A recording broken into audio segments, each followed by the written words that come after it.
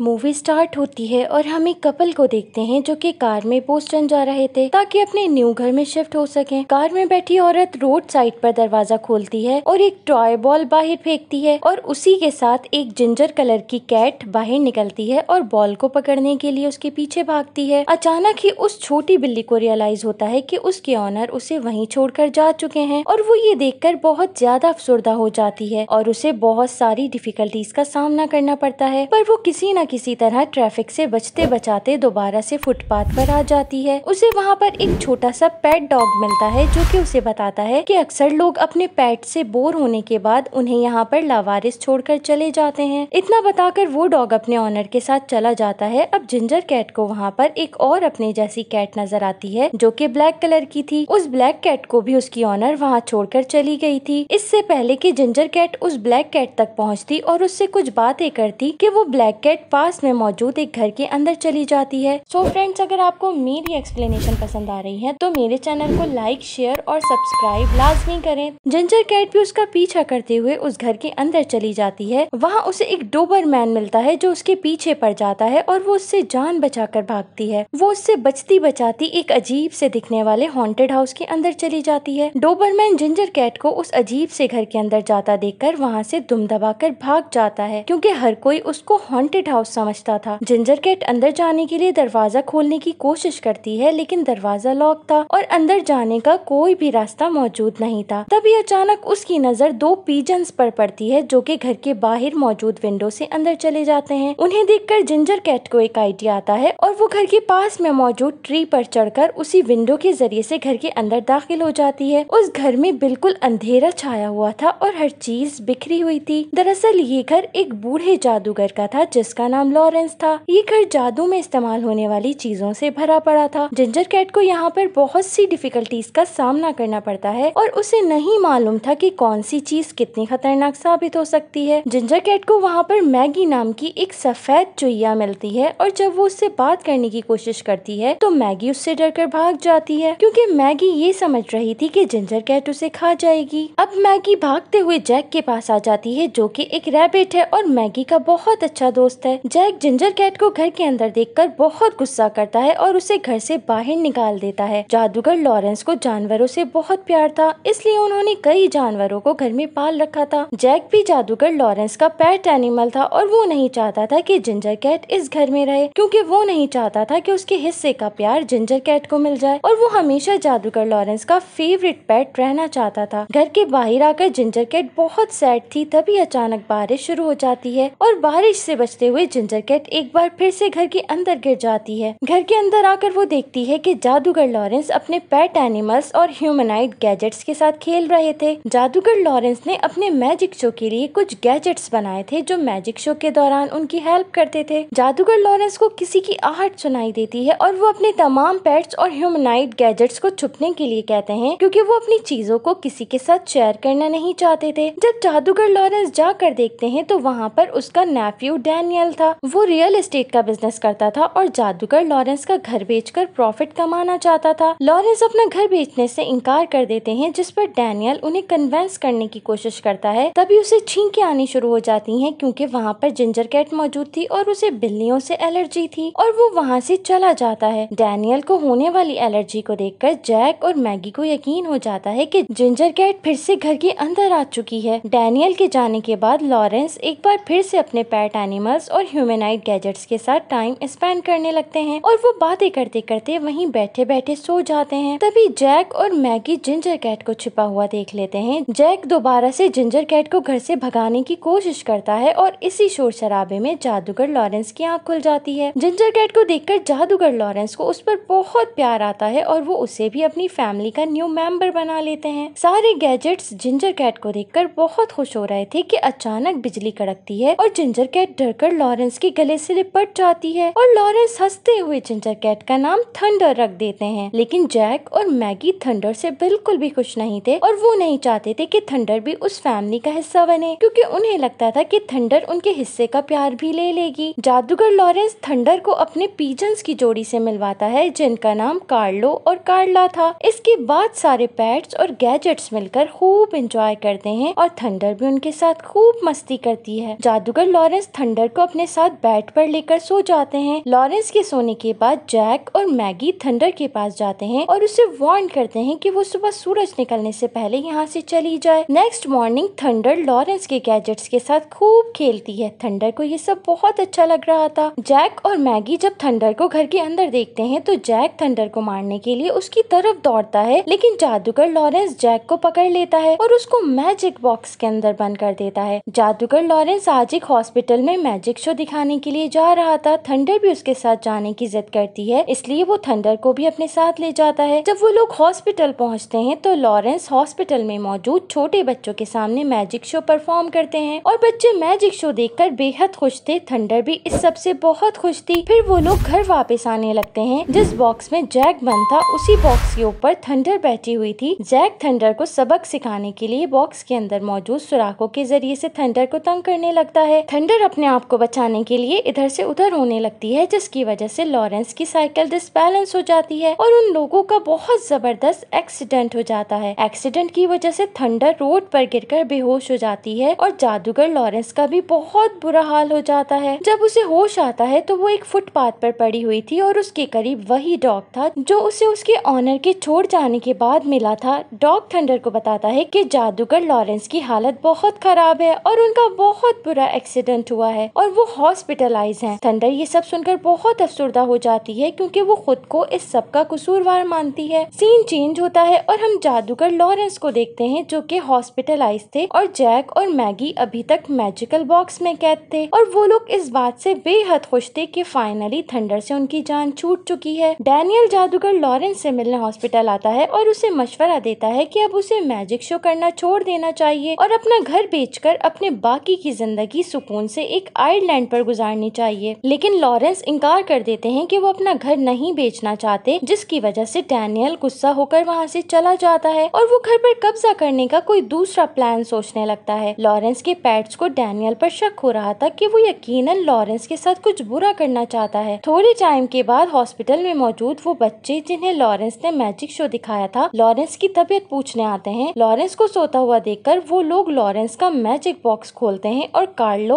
और कार्ला बॉक्स में से निकलकर उड़ जाते हैं। शोर की आवाज़ सुनकर वहाँ पर मौजूद एक नर्स आ जाती है, जो कि बहुत स्ट्रिक्ट थी और बच्चों को डांट कर वहाँ से भगा देती है। दूसरी तरफ़ हम थंडर को देखते हैं, जो कि लॉरेंस के घर वापस आ गई थी और कार्लो और कार्ला भी घर आ जाते हैं। कार्लो और कार्ला थंडर और बाकी रोबोट्स को लॉरेंस की कंडीशन के बारे में बताते हैं और उन्हें ये भी बताते हैं कि डैनियल की नीयत कुछ ठीक नहीं है और वो लॉरेंस के साथ कुछ बुरा करना चाहता है। थंडर इन सब बातों से बहुत अफसुर्दा हो जाती है और वो सबको मोहतात रहने को कहती है, क्योंकि लॉरेंस की गैर मौजूदगी में वो लोग किसी भी डिफिकल्टी में फंस सकते थे। सीन चेंज होता है और हम डैनियल को देखते हैं, जो कि लॉरेंस से एक बार फिर से हॉस्पिटल मिलने आया था और वो अपने साथ घर के जाली पेपर्स भी लेकर आया था और वो बहुत होशियारी से लॉरेंस से उस पर सिग्नेचर ले लेता है, क्योंकि लॉरेंस बेहोशी की हालत में थे और उन्हें कुछ भी मालूम नहीं था कि डैनियल उनके साथ क्या कर रहा है। डैनियल उनके मैजिकल बॉक्स को अपने साथ लेकर घर आ जाता है और वो अपने साथ क्लाइंट भी लेकर आया था ताकि वो घर दिखाकर घर को सेल कर सके। थंडर जब डैनियल के साथ कुछ नए लोगों को देखती है तो वो समझ जाती है कि डैनियल घर बेचना चाहता है। लिहाजा वो एक प्लान बनाती है और जैसे ही वो लोग अंदर एंटर होने लगते हैं थंडर कार्लो और कार्ला को भेजकर उनके ऊपर बीट करवा देती है और वो कपल डैनियल के ऊपर बहुत गुस्सा करता है और वहाँ से चला जाता है। डैनियल को इस सिचुएशन में बहुत गुस्सा आ रहा था और वो लॉरेंस के मैजिकल बॉक्स को घर के अंदर रखकर वहाँ से चला जाता है। थंडर रोबोट्स की मदद से बॉक्स को खोलती है और जैक और मैगी को बाहर निकालती है। लेकिन जैक थंडर का एहसान मानने के बजाय उसे लॉरेंस की कंडीशन का जिम्मेदार ठहराता है और उसे घर से निकल जाने को कहता है। लेकिन जब थंडर उसे बताती है कि उसकी वजह से ही डैनियल घर के अंदर एंटर नहीं हो सका, क्योंकि उसे कैट से एलर्जी है और अगर वो घर से बाहर चली गई तो वो किसी भी वक्त सबको घर से बाहर निकाल सकता है। जैक थंडर की बातों से एग्री कर लेता है और वो उसे घर के अंदर रहने की इजाज़त दे देता है, मगर उसे एक पिंजरे में कैद कर देता है। नेक्स्ट डे डैनियल फिर से एक न्यू क्लाइंट को लेकर आता है और जब कार्लो और कार्ला उसके ऊपर बीट करने जाते हैं तो डैनियल अम्ब्रेला आगे कर देता है ताकि क्लाइंट को किसी भी किस्म की गंदगी से बचाया जा सके। वो क्लाइंट को अंदर भेज देता है ताकि वो घर को अंदर से देख सके और वो खुद बाहर ही वेट करता है क्योंकि घर के अंदर थंडर की मौजूदगी की वजह से उसे एलर्जी हो जाती थी। डैनियल को पक्का यकीन हो चुका था कि घर के अंदर ज़रूर कोई कैट मौजूद है, इसलिए वहीं वो घर के बाहर रहकर ही अंदर देखने की कोशिश करता है कि शायद उसे वो कैट नज़र आ जाए। घर देखने आने वाले क्लाइंट के पास वही डॉग मौजूद था जो कि थंडर को फुटपाथ पर मिला था। वो थंडर को बड़ी मुश्किल से पिंजरे में से आज़ाद कर देता है और फाइनली डैनियल भी थंडर को देख लेता है। दूसरी तरफ़ जब घर देखने आने वाली क्लाइंट घर देख रही थी तो मैगी सामने आकर उसको बुरे तरीके से डरा देती है, जिसकी वजह से वो बड़ी ज़ोर से जीने पर से गिर जाती है और वो क्लाइंट भी गुस्सा करते हुए अपने डॉग को लेकर वहाँ से चली जाती है। थंडर पिंजरे से आज़ाद होने के बाद लॉरेंस से मिलने हॉस्पिटल जाती है और उसे लगता है कि लॉरेंस उस पर गुस्सा करेंगे, क्योंकि उसी की वजह से लॉरेंस का एक्सीडेंट हुआ था, लेकिन वो उसे बुलाकर उसे प्यार करने लगते हैं। और ऐसा कुछ भी नहीं होता जैसा वो सोच रही थी। वो लॉरेंस की और ज़्यादा फ़ैन हो जाती है और लॉरेंस के साथ चिपक कर बैठ जाती है। इतने में हॉस्पिटल की वो ही स्ट्रिक्ट नर्स आ जाती है और इससे पहले कि वो थंडर को देख पाती, थंडर उसे देखकर वहाँ से भाग जाती है। दूसरी तरफ़ डैनियल ने भी सोच रखा था कि उसने भी हार नहीं माननी और वो फिर से एक और क्लाइंट को घर दिखाने के लिए ले आया था। और जब मैगी पिछली बार की तरह इस बार भी उन्हें डराने के लिए आती है तो इस बार तो कोई फ़ायदा ही नहीं होता क्योंकि वो क्लाइंट तो मैगी से बिल्कुल भी नहीं डरता और उसे अपने हाथ पर से हटा देता है और वो उसे फ़िश बाउल में कैद करके आगे बढ़ जाता है। इतने में थंडर भी घर वापस आ जाती है और उसके आने के बाद डैनियल की एलर्जी बढ़ने लगी थी और वो घर से बाहर चला जाता है। उस क्लाइंट को तो घर बेहद पसंद आया था और वो उस घर को लेने के लिए राज़ी भी हो चुका था। लेकिन थंडर रोबोट्स के साथ मिलकर उस क्लाइंट की बीवी को बुरे तरीके से डरा देती है और वो लोग भी घर को हॉन्टेड समझकर छोड़कर चले जाते हैं। डैनियल को अब बेहद गुस्सा आ जाता है क्योंकि हर बार क्लाइंट इस घर को हॉन्टेड बोलकर जा रहे थे और वो जानना चाहता था कि आखिर असल माजरा क्या है। इसलिए वो घर की तमाम चीज़ों को बाहर फेंकने का डिसाइड करता है ताकि वो जान सके कि आखिर असल मामला है क्या। दूसरी तरफ़ सब लोग थंडर को इनकरेज कर रहे थे क्योंकि थंडर ने ही रोबोट्स के ज़रिए मिलकर इस घर को बिकने से बचा लिया था। लेकिन जैक और मैगी को ये बातें बिल्कुल भी अच्छी नहीं लग रही थी क्योंकि वो अब भी थंडर से नफरत करते थे और उसे बिल्कुल भी अच्छा नहीं समझते थे। थोड़े दिन के बाद डैनियल फिर से दो आदमियों को अपने साथ लेकर आ जाता है, जो कि डैनियल की रजामंदी से इस घर का सारा सामान बाहर निकालने लगते हैं। थंडर पहले से जानती थी कि डैनियल घर का सामान निकालने के लिए ज़रूर किसी न किसी को लेकर आएगा, इसलिए वो ह्यूमेनाइड रिपोर्ट्स के साथ मिलकर उन लोगों को डरा देती है और वो लोग भी उस घर को हॉन्टेड समझकर वहाँ से दुम दबाकर भाग जाते हैं। अब डैनियल डिसाइड करता है कि वो खुद घर के अंदर जाएगा और इस घर की रियलिटी मालूम करेगा। लेकिन जैक की बेवकूफ़ी की वजह से थंडर डैनियल के सामने जाकर गिर जाती है और डैनियल उसे मारने के लिए आगे बढ़ता है। जैसे जैसे वो थंडर को मारने के लिए आगे बढ़ता है वैसे वैसे उसकी एलर्जी में इजाफा होता जाता है और उसे मजबूर होकर घर से बाहर जाना पड़ता है। दूसरी तरफ़ हम लॉरेंस को देखते हैं, जिसे हॉस्पिटल में नर्स बताती है कि डैनियल उसके घर को क्लाइंट्स को दिखा रहा है ताकि वो उस घर को बेच सके और वो लॉरेंस को एक आयरलैंड पर भेजने की तैयारी कर रहा है। लॉरेंस को ये सब सुनकर बहुत गुस्सा आता है और वो अपना घर बचाने के लिए अपने घर वापस जाना चाहते थे, लेकिन पैर में चोट लगने की वजह से उन्हें घर जाने की परमिशन नहीं दी जाती। उन्हें हॉस्पिटल से डिस्चार्ज होने में अभी काफ़ी टाइम बाकी था।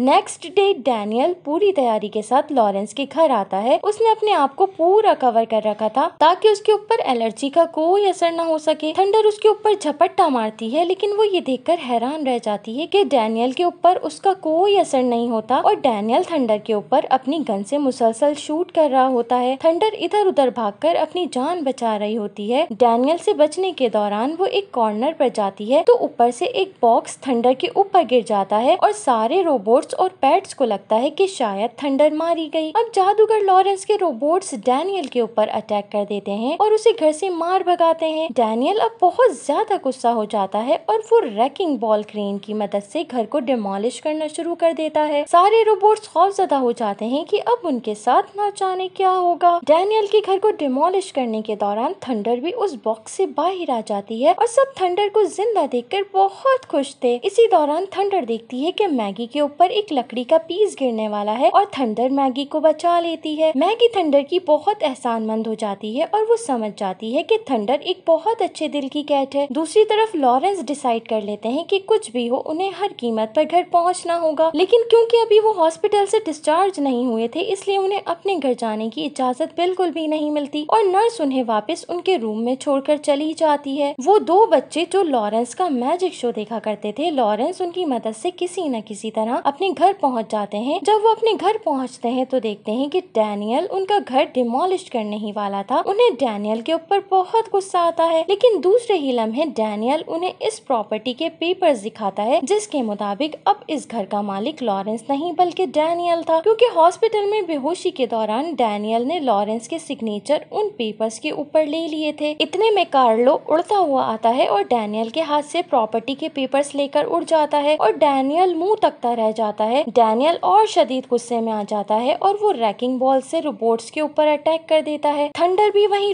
रोबोट्स के साथ मौजूद होती है। जैक तो दरवाजे के बीच में फंस गया था। वो तो किसी भी किस्म की मदद नहीं कर सकता था। मैगी किसी न किसी तरह क्रेन के अंदर चढ़ जाती है और वो डैनियल को डिस्ट्रैक्ट करने लगती है। डैनियल क्रेन नहीं चला पाता और इसी मौके का फ़ायदा उठाकर थंडर भी क्रेन के अंदर घुस जाती है। थंडर की क्रेन में घुसने से डैनियल शदीद एलर्जी का शिकार हो जाता है और उसकी हालत पतली हो जाती है और क्रेन भी आउट ऑफ़ कंट्रोल हो जाती है, जिसकी वजह से रैकिंग बॉल डैनियल की अपनी ही कार के ऊपर गिर जाती है और उसकी कार डिस्ट्रॉय हो जाती है। थंडर डैनियल को हाल से बेहाल कर देती है। डैनियल को अपनी गलती का एहसास हो जाता है। दूसरी तरफ़ मैगी भी थंडर की बहुत अच्छी दोस्त बन जाती है। नेक्स्ट सीन में हम लॉरेंस को मैजिक शो दिखाता हुआ देखते हैं। अब वो पूरी तरह से सेहतयाब हो चुके थे और बच्चों को मैजिक करके दिखा रहे थे और सभी बच्चे बहुत खुश थे। और अब हम जैक को देखते हैं और वो भी थंडर का बहुत अच्छा दोस्त बन चुका था और उसने थंडर को अपने न्यू फैमिली मेंबर के तौर पर एक्सेप्ट कर लिया था और इसी के साथ मूवी की हैप्पी एंडिंग हो जाती है। सो so फ्रेंड्स अगर आपको मेरी एक्सप्लेनेशन पसंद आ रही है तो मेरे चैनल को लाइक शेयर और सब्सक्राइब लाजमी करें। Thanks for watching